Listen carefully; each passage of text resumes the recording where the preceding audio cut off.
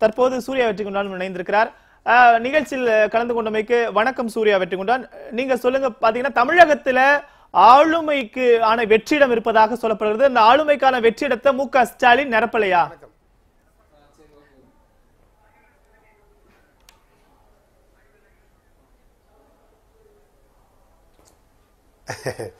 அப்படி யாருங்க சொல்றது ஒரு வெற்றிடம்ன்று?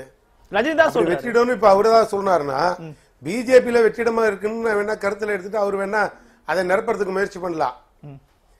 அவர் அவரு அவர் வேணா பிஜேபியில வெற்றிடம் இருக்கு.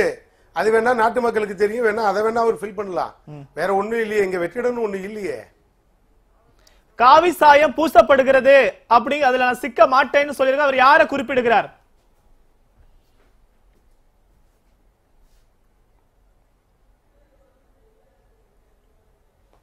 அவர் வந்து காவி சாயம் வந்து திருவள்ளுவருக்கு பூசப்பட்ட காவி சாயத்தை அவர் கண்டிக்கல. அதுவே பெரிய வருத்தத்துக்குரிய ஒண்ணு.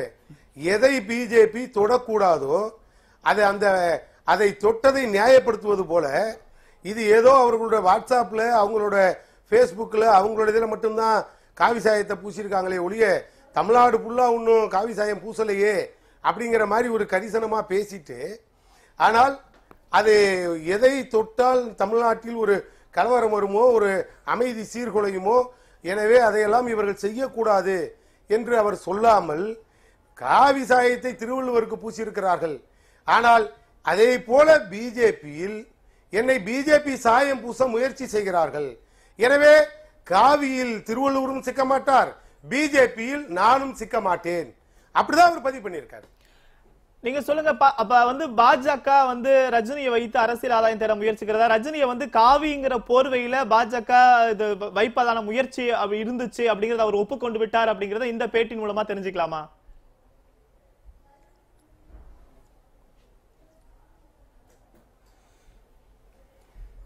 இல்ல சார் அது அது அவரு முன்னாள் அமைச்சர் பொண்ணு ராதாகிருஷ்ணன் பேசும்போதே சொல்லியிருக்காரு. அவர் சொல்லும்போது சொன்னார் இவர் காவியெல்லாம் பூச தேவையில்லைங்க அவர் எல்லாம் போயிட்டு வந்தவர்னு. இப்போ நான் என்ன கேட்குறேன்னா அவரை தமிழ்நாட்டுக்கு இப்போ இது ஒரு தேவையா? திருவள்ளுவருக்கு இதை மாதிரி ஒரு நிலைப்பாடு தேவையா? அவர் எந்த மதத்தை சார்ந்தவர்? மத சாயம் பூசலாமா? இது தேவையான ஒரு வேலையா? அப்படியெல்லாம் அவர் கருதலை. இங்கே காவி ஆள முடியாதுன்னு ரஜினிகாந்துக்கு நல்லா தெரியும். அவர் அரசியலுக்கு முதல்ல காவியில் சிக்கிறாரா? இல்லது அரசியலில் சிக்கிறாராங்கிறது தான் முதல் கேள்வி. அவருக்கு தெரியும். அவர் காவியில் சிக்கலைங்கிறத அவரே சொல்லிட்டு போகலாம் இவங்க அவர் காவிதான்னு சொல்லலாம். ரெண்டுமே இருந்தாலும் எங்களை பொறுத்த மட்டில் இது தமிழ்நாட்டுக்கு ஒரு பிஜேபி ஒரு பாசிச கொள்கையோடு இதை வந்து எப்படி சொல்றது ஒரு கலவர பூமியாக மாற்றுவதற்கு தான் எதையோ மறைப்பதற்கு இப்படி ஒன்றை ஆரம்பித்து வைப்பது போல திருவள்ளுவருக்கு ஒரு சாயத்தை பூசுகிறார்கள் அதை விட பெரிய கொடுமை என்னைக்கு மோடி வந்து இந்தியா ஃபுல்லா வேர்ல்டு ஃபுல்லா போய் ஒன்னு ரெண்டு திருக்குறளை பேசிட்டு வந்து. அந்த திருக்குறளை பேசின பிறகு அதையே இவங்க எல்லாம் ஒரு காரணமா வச்சு ஆகா தலைவர் மோடியே திருக்குறளை பேசிட்டாரு. எனவே திருவள்ளுவர் இனிமேல் பிஜேபியில மெம்பர் ஆக்கின கதையாச்சு. சார் உங்க கட்சியில தலைவர் இல்லைங்கிறத பத்தி எங்களுக்கு கவலை இல்லை சார் எனக்கு அதை பத்தி கவலை இல்லை. அதே மாதிரி தலைவர் இல்லைங்கிற கவலையை பத்தி அவர்தான் வெற்றிடம் சொன்னதுக்காக பதில் சொன்னேன். ஒரு தலைவன் ஆளுமை மிக்க தலைவன் ஒரு தலைவன் இங்க திமுகவில் இருக்காரு. அந்த தலைவனை எதிர்த்து இங்க கவுண்டர் கொடுக்க ஆள் இல்லைங்கிறதுனால வெற்றிடம் வெற்றிடம்னு பேசுறீங்க. வேணா பிஜேபியில அவர் வேணா அதை நிரப்பட்டுங்கிற கக்கறையில தான் சொன்னேனே ஒழிய நான் பிஜேபியில ஏங்க தலைவர் கவலைப்படுறேன். அங்க தொண்டனே இல்ல. இப்பதான் பூத் ஏஜென்டா கண்டுபிடிச்சிருக்கீங்க. நான் இதை வெளிப்படையா சொன்னேன்னா என்ன? இல்ல இல்ல நீங்க ஒரு வருத்தம் வர்றதுக்கு. இல்ல இல்ல இல்ல. நான் நீங்க பூத் ஏஜென்ட பத்தி. பேசுறீங்க. ஏற்கனவே ரெண்டு எம்பி வந்தது. மந்திரி வந்ததெல்லாம் நீங்க வசதியா. மறந்துடுறீங்க. எங்களோட கூட்டணி வச்சீங்க. பூத் ஏஜென்ட் இல்லாத கட்சியோட கூட்டணி வச்சீங்க? தொண்ணூத்தி ஒன்பதுல வாஜ்பாய் அவர்களோட தலைமையில எதுக்கு கூட்டணி வச்சீங்க அதெல்லாம் அதெல்லாம் கடந்த காலமா? உங்க இஷ்டத்துக்கு மறந்த காலமா? அது நீங்க- அது வசதியா அரசியல்ல வசதியா மறந்து அது போகக்கூடிய குணம். அதனாலதான் இந்த திமுகவும் இந்த அதிமுகவும் ஏன் அதிமுகவும் தேமுதிகவும் திராவிட பிஜேபியோடு கூட்டணி சேர்ந்திருக்கிறார்கள். எனவே பிஜேபியை அரசியல் ரீதியாக தீண்டத்தகாத கட்சின்னு சொல்றதுக்கு அருகதையற்றவர்கள் தேமுதிகவுக்கு அருகதை இல்லைன்னு சொல்ல வரீங்க இல்ல இல்ல எல்லா திராவிட இயக்கங்கள். திராவிட இயக்கங்கள். திராவிட இல்ல இல்ல திராவிட இயக்கங்களுக்கு நீங்க- நீங்க. ஒரு திசையிலே பிஜேபி சார், எனக்கு பதில- பதில வாங்கிக்கங்க. பெரியார் பூமி பெரியார் பூமிமாங்க பெரியார் பூமியிலே தான். இந்த பிஜேபியோடு அதிமுக கூட்டணி வைத்துள்ளது.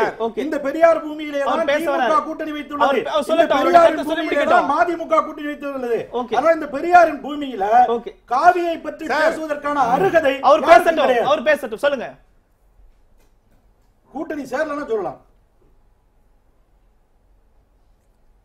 சகோதரன் நான் வெளியில இருந்து பேசுறதுனால நீங்க குறுக்க மட்டும் பேசாம இருங்க முடிச்சதுக்கு அப்புறம் நீங்க எல்லாத்தையும் சொல்லுங்க நான் பதில் சொல்றேன் ஒண்ணும் இல்ல நீங்க கேட்டதுக்கு நான் பொறுமையா பதில் சொல்றேன் நாங்க ஏன் சார் வேணான்னு சொன்னோம்?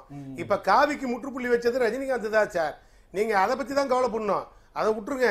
நான் திரும்பியும் கேட்கிறேன் காவி ஆள வேண்டும் கழகங்கள் அழிய வேண்டும்னு சொன்னீங்க. உங்களை சுத்தமா காலி பண்ணி டெல்லியோட விட்டாச்சு. அது தமிழ்நாட்டு மக்கள். நாங்க கிடையாது. இன்னொன்னு நான் திரும்பியும் பதிவு பண்றேன். நீங்க உன்ன மனசுல வச்சுக்கீங்க. பழைய? பழைய பாஜகவோட நாங்க கூட்டணியில இருந்தது உண்மை.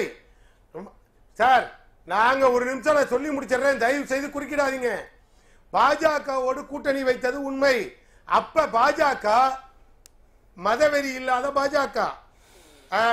பன்முக தன்மை கொண்ட பாஜக. வாஜ்பாய் தலைமையிலான பாஜக.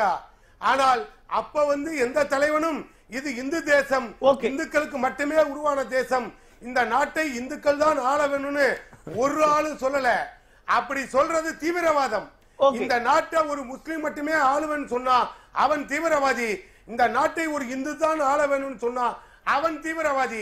அப்ப இருந்தது தீவிரவாதம். இப்ப இருக்கிற எல்லாரும் தீவிரவாதிகள். எல்லாரும் தீவிரவாதிகள். தீண்டத்தகாதவர்களாக பார்க்கவில்லை. தீவிரவாத கும்பலாக பார்க்கிறேன். ஓகே தொடர்ந்து பேசலாம். நீங்க சொல்லுங்க. ரஜினி அவர்கள் இன்று பரபரப்பா பேசியிருக்கிறாரு. ஃபர்ஸ்ட் வெளிப்படையா பேசிட்டாரு. அடுத்த ஒரு மணி நேரத்துல வேற மாதிரி பேசிட்டாரு. வழக்கம் போல இந்த ஊடகங்கள் வந்து பெரிதுபடுத்தியாச்சு அப்படின்னு சொல்றாரு. அடுத்து ஒரு ஒரு மணி நேரத்துல மீடியா சொல்றாரு. அப்படி இருக்க பட்சத்துல அந்த ஒரு மணி நேரத்துல என்ன நடந்திருக்கும்? அவர் ஏன் திரும்ப இரண்டு முறையில இரண்டாவது முறை பேசும்போது ஒரு சிறிது மாற்றம் ஏற்பட்டிருக்கு அந்த மாற்றத்துக்கான காரணம் என்ன? யாரேனும் அழுத்தம் கொடுத்திருப்பார்களா? இல்ல பெரிய மாற்றம்னு ஒன்றும் சொல்லக்கூடிய அளவுக்கு இல்லை. அண்ணன் மணி சொன்ன கருத்தோட நான் ஒத்து